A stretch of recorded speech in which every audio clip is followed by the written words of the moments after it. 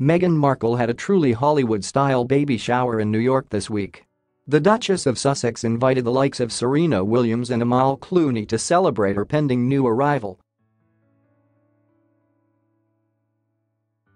She rented out a £58,000 suite for the occasion and flew on a £150,000 private plane. Meghan's journey to and from New York for the star-studded party is thought to have cost £190,000. The extremely extravagant affair was not attended by any member of the British royal family. However disaster struck for two of Meghan's guests when they were stranded in New York. Her Suits co-star Abigail Spencer, 37, and Pilates teacher Taryn Toomey were delayed for hours. The pair were flying back to Los Angeles. Initially they were delayed for six hours, and eventually the flight was rescheduled for the next day.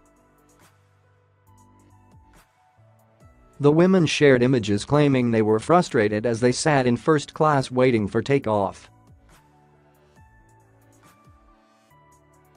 They enjoyed what looked like a margaritas as they waited for their flight. 37-year-old Abigail Spencer bemoaned the service on her Twitter account.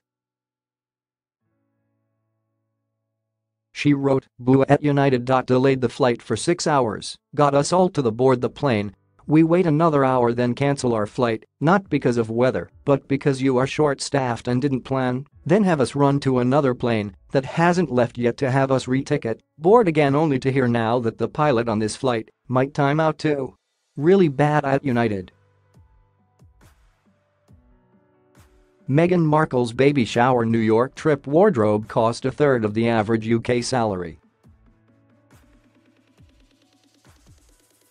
Meghan's total wardrobe cost for New York was £8,437.77.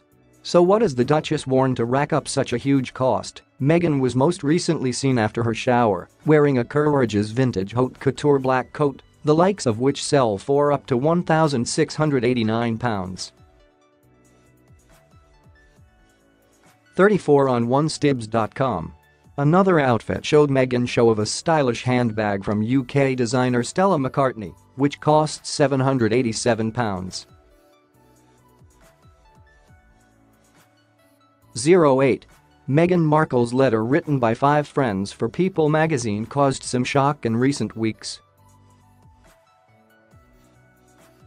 Royal expert Russell Myers told Christine Lampard, standing in for Lorraine Kelly on Lorraine this morning, said, I understand the palace haven't been too understanding of the recent controversy. Meghan's friends getting involved in writing this puff piece in People magazine